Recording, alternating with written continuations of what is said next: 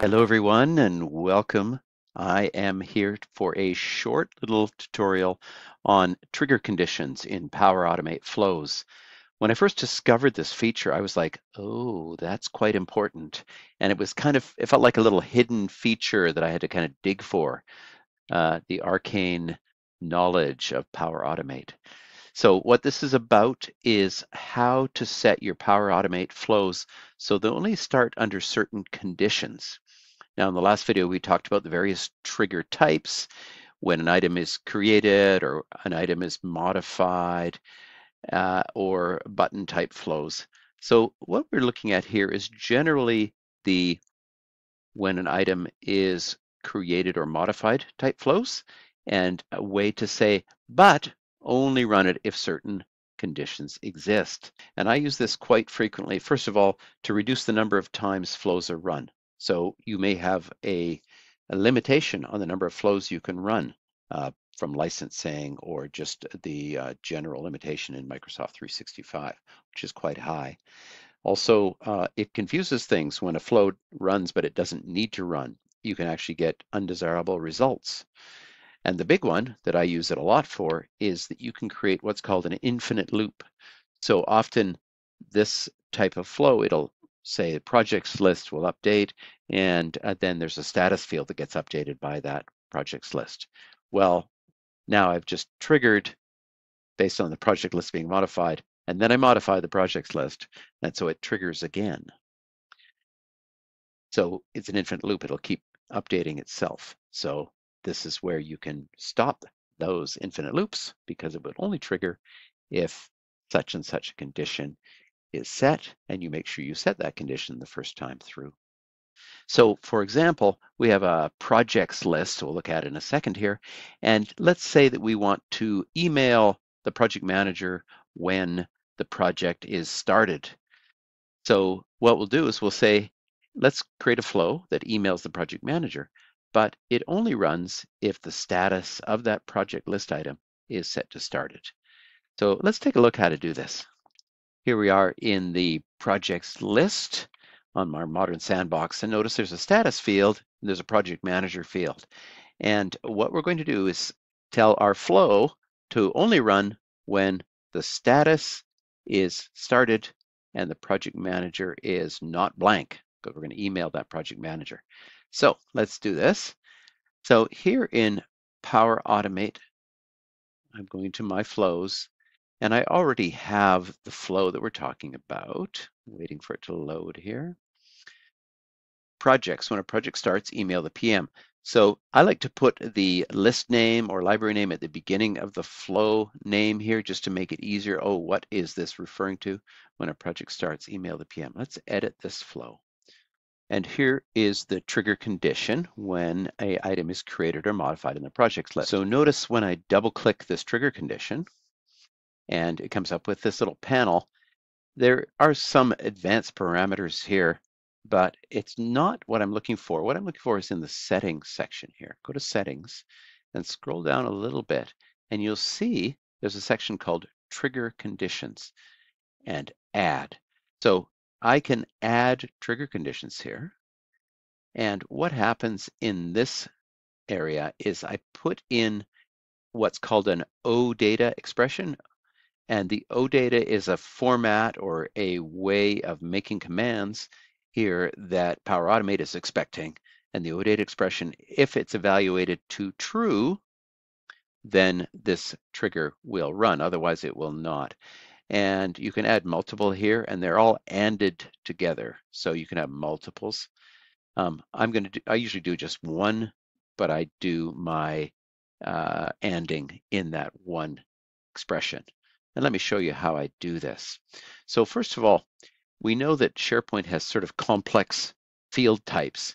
So status is a choice field and project manager is a person field. Project name is a single line of text. These are all different field types and the OData expression needs to know about that. So the first thing that we do is we go into the list settings and we take a look at those field types. Okay, here's the status field. Oh, I see it's a choice field. Well, let me click on it. Oh, I see. Status. And there's a couple of things that we want to be cognizant of here. First of all, look in the, the header here. Notice at the very end it says field equals status. So what this is, is saying the internal name of this field is status. I can give it a different column name here. The internal name stays the same. And it might be a special thing you'll see underscore x0020 or something like that. If you create your fields with spaces in them, the internal name will have some ugly stuff in it. So this is one of the reasons we always create columns with no spaces and then change them over here as much as we like. So this field is called status. And then there's, it's a choice field and there are some particular choices available to the user. Let me show you that. So what, what I do is to create these triggering conditions, I bring up uh, Copilot or the AI of your choice. So let's bring up Copilot here. And I'll just split the screen, Copilot on the right. And let's just shrink that a little bit, prioritize. Okay, so tell Copilot what you want to do. What I do need to do is an OData trigger condition. So I'm gonna, I have this on the other screen, so I'm just gonna paste it here so I don't have to type. And let me just move my photo over here. Okay, I need an OData trigger condition statement for a PA trigger condition. So PA, Copilot knows that that is Power Automate. Um, let's put Power Automate flow, just to be super clear, trigger condition. Um, this flow is only going to run if the status is started and the PM field is not blank. Let's put that in there as well. And now, in order to build the OData, expression, Copilot needs to know the data types. The PM field's internal name, or let's be really clear, SharePoint internal name. So let's go back to that list settings screen and let's take a look at the status uh, PM field. Here it is, project manager. So I'm going to click on project manager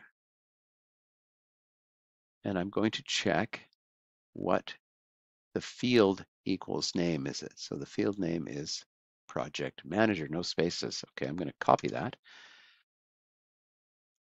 From SharePoint name is project manager.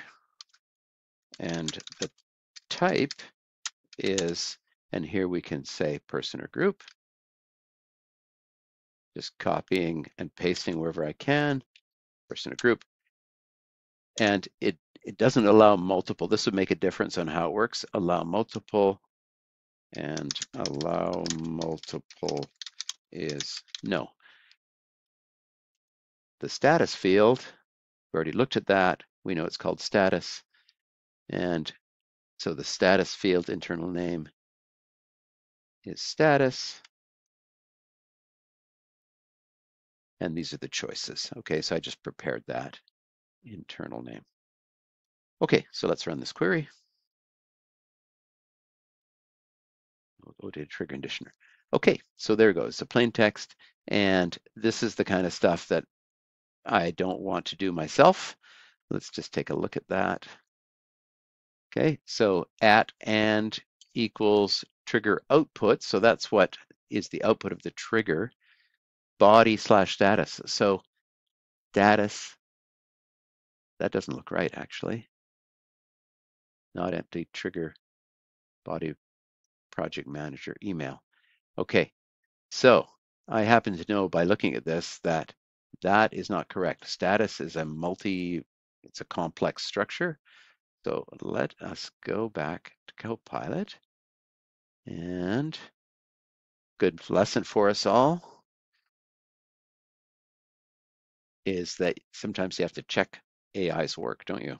Okay, the status field is a choice field. Please fix the expression. Hopefully it'll get it this time. Great catch. Status value. There we go. That's what I expect to see. Okay, so I'm going to copy this. I'm going to go back to my flow and I'm going to paste it in here. All right. So the, the status of value is started and the project manager email is not empty. So now we can save. And of course, we would test then. So that's uh, the basics of using a trigger condition to, to conditionally start your Power Automate flow. All right, I hope that's helpful to you. Uh, I would love to give you more detail of that if you feel the need or uh, you have a specific requirement, feel free to reach out. All right, bye for now.